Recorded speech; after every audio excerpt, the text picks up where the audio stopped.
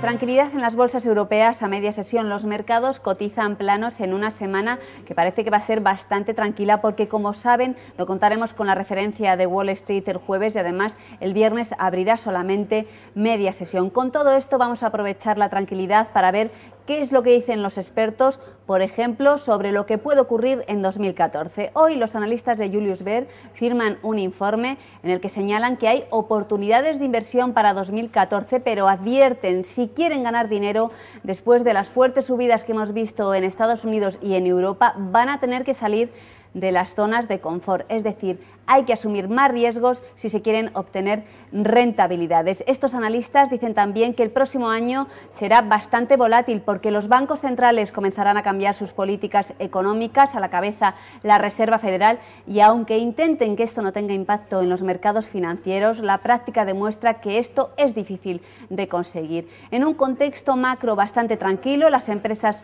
pasan a ser protagonistas y hoy las protagonistas en España son Repsol y SACIR. Suben en torno a un 4%. Son alzas importantes, pero no lo suficientemente fuertes por dos cosas. Primero, porque el acuerdo al que se ha alcanzado por la expropiada IPF supone que se pagaría a Repsol un dinero que no es suficiente, 5.000 millones, y porque mañana el Consejo de Repsol, muy atentos a este encuentro, podría decir que no al acuerdo al que han llegado los gobiernos.